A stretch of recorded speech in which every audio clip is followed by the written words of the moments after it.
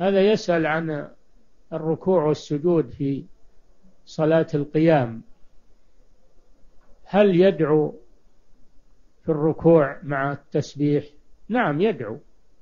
يسبح ويدعو وكذلك في السجود يسبح ويدعو. لكن الدعاء في السجود أكثر من الدعاء في الركوع لأن السجود مظنة الإجابة وأقرب ما يكون العبد وهو ساجد.